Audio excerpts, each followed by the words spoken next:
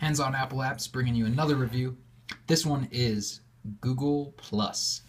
And uh, so, what the Plus is up with Google Plus? So, it's another social media network. You post things, you can join communities. Uh, so it brings you to your home screen here on your device. If you s- refre- slide up like this, it refreshes your news feed, your feed here. You can see suggested communities to join and uh, as well as any posts by any communities that you are a part of. I guess they're throwing that uh, that device in the toilet. It's just no good. Uh, so uh, it's a cool app and uh, works really well in that uh, it's a great way to interact with people. It's a great way to see what's going on. And uh, one feature that I really like, my favorite part is probably if you click this all drop down in the top and switch that to what's hot you can see trending posts.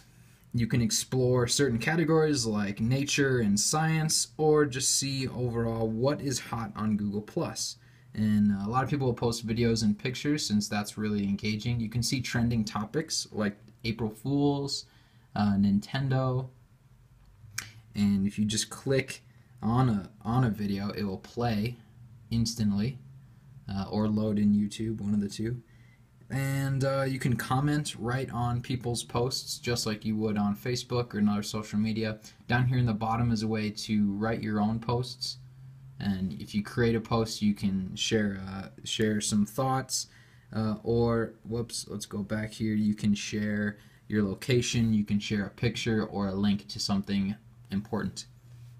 Top right, you've got notifications and people if you, you can search for people and connect with them, you can share messages and images directly with them.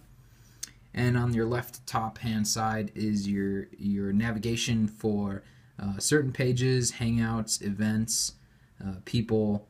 And if you click this home again, it goes back to that main uh, your main news feed of information.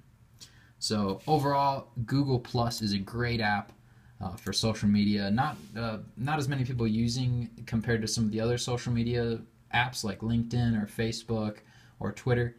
Uh, a lot a lot of the tech scene uses it, and it's got a 4.5 on iTunes, 4.2 on Google Play. I'd give it a five, so it's at 4.57 average.